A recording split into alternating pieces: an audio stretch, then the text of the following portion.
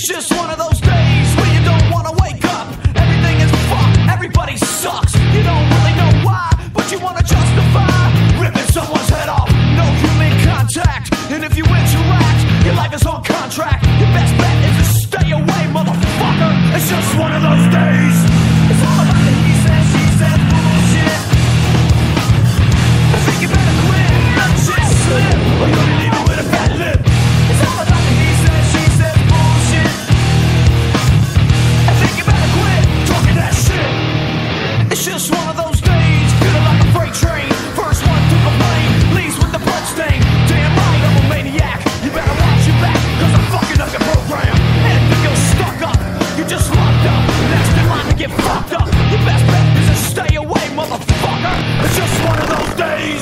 It's all about